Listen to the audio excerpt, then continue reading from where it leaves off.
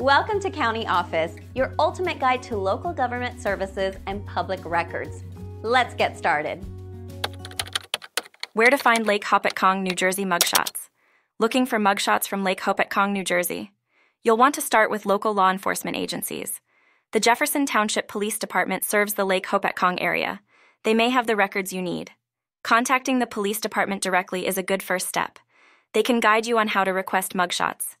Keep in mind that there may be fees associated with obtaining these records. You can also check with the Morris County Sheriff's Office. They handle a lot of the county's law enforcement duties and might have the mugshots you need. For online searches, the New Jersey Department of Corrections offers an inmate search tool. This can help you find individuals who have been incarcerated. Another useful resource is the New Jersey State Police website. They provide access to various public records, including mugshots. Don't forget about countyoffice.org.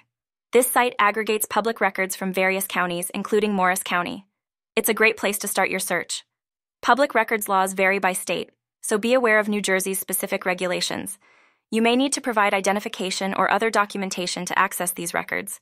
If you're looking for recent mugshots, local news websites often publish arrest records. These can include photos and details about the arrest. Lastly, consider visiting the local courthouse. Court records can sometimes include mugshots, especially for recent cases.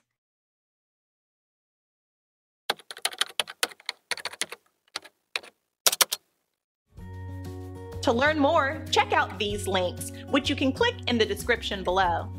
And feel free to comment your questions. We're here to help. Thanks for tuning in to our video. Please like and subscribe and leave a comment below. See you in the next video.